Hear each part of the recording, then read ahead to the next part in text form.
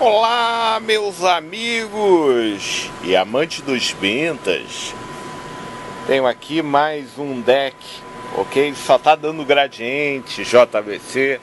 Nesse caso aqui é o famoso KDA 5, ok?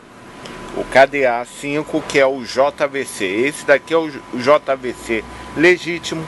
Tá com cabeçote SA. Tô fazendo uma um levantamento, porque isso daqui é um vídeo parcial, né? É um inicial para vocês, tá? E parcial tecnicamente falando, porque eu estou fazendo uma avaliação primeira como está o estado desse cabeçote. O aparelho ainda não foi mexido, não foi trocado os capacitores, né? E eu estou fazendo um teste aqui para saber. Estou deixando aqui em flat, ok? Em zero decibéis, né? fazendo um teste de gravação. Isso daqui é uma fita virgem cromo, ok? Quero ver como vai ser a minha resposta de reprodução logo inicial, porque é muito legal a gente poder fazer o antes e o depois, ok? O durante, vocês vão ver vídeos aí, flash, eu passando alguma coisa para vocês de conteúdo técnico, ok? Mas essa é minhas primeiras impressões iniciais, né? Como o aparelho está chegando para mim, tá? Tô aqui rodando, cromo, tô com um sinal, esse barulho chato, enjoado, ok? De 1 kHz, mas é o nosso teste inicial, ok? Vamos ver como ele está reproduzindo 1 kHz. Estamos com o sinal estourado, no máximo 3 decibéis para mais para reprodução. Então estamos com o sinal aqui muito estourado e a gente vai ver aí o que que está acontecendo, né? O legal mesmo é fazer o recapeamento, trocar esses capacitores que estão ressecados, né? E mesmo para a gente garantir o nosso serviço, ok? Então Vamos dar uma olhadinha como tá estado. O cabeçote é o original. Ele está muito conservado, bem que o cliente falou que ele comprou no eBay. Veio da Alemanha, ok?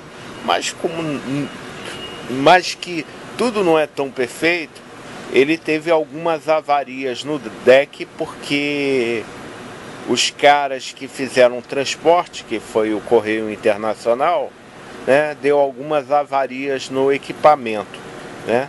Mas ele está aqui, né, tranquilo, né? Ele desempenou esse potenciômetro aqui tá duro pra caramba, que a gente vai dar uma lubrificada aqui nele primeiro, fazer um, um jogar um limpa contato para limpar aqui as pistas, né? E depois tentar desengripar os eixos que estão muito presos, né? A mecânica está original, o que vai ser trocado aqui da mecânica, a gente vai revisar, revisar porque com certeza a gente troca essas correias, tá? Trocar esse rolo pressor que ele está um pouco já inchado, né?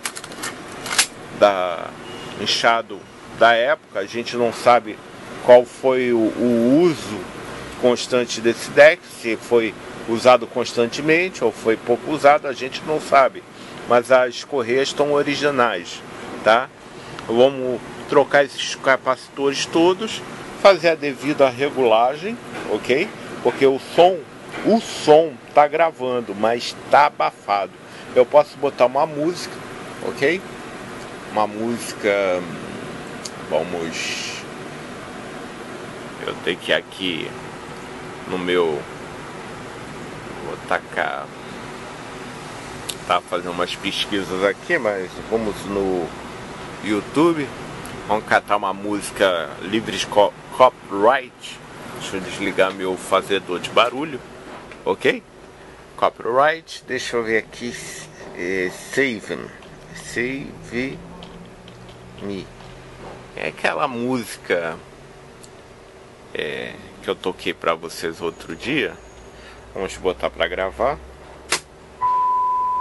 Vamos fazer o nosso ajuste. Tibias, zero. Legal. Vamos dar um stop. Vamos botar a música aqui. Comerciais.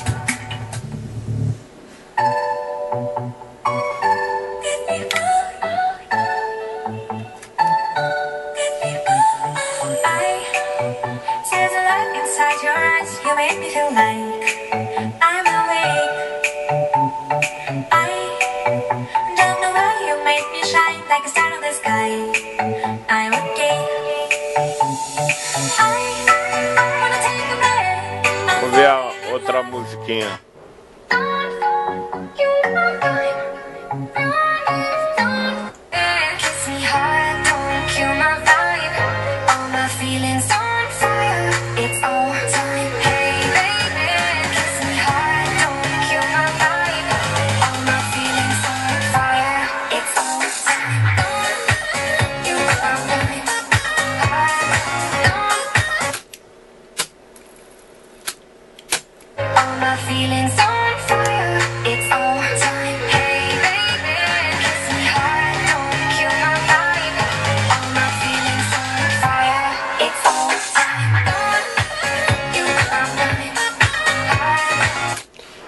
Tá gravando, tá, tá gravando, mas tá muito abafado para uma fita deveria ser mais cristalino. Mesmo utilizando as bias de compensação, ele deveria, ele deveria ser mais nítido. Ele está abafando. Então, isso já é sinal de capacitor cansado. É, vocês podem ver que ao passar dos anos, o capacitor tem algumas marcas como Nikon Shimicon, Nikon Shimicon, é, é esses azulzinhos, tá? É, ao passar dos anos, você vai encontrar capacitores que é 10, mil, 10 microfarad, está dando 18, está dando 20. Capacitores de 1000 dá 1200. Ele dá sempre uma capacitância é, para mais e nunca para menos. Tá? Os capacitores nacionais como Siemens, Log, é, Épicos, a tendência é enfraquecer. Né? Os importados não, eles continuam funcionando, sendo que o som fica abafado e fica pesado demais, ok? Então aí a gente vai fazer aqui uma senhora recapeamento e eu pretendo fazer para hoje, tá? E à noite eu estar terminando. Praticamente um trabalho desse eu levo aí pelo menos 6 horas para fazer o trabalho todo no deck, ok? Essas são as impressões parciais do deck KDA 5JVC AG eletrônica vintage do som vintage ao profissional agradece a sua visualização. Se você está vindo pela primeira vez, por favor, se inscreva e curta e habilite o sininho para ficar por dentro das nossas atualizações. Muito obrigado por você ter assistido. Obrigado.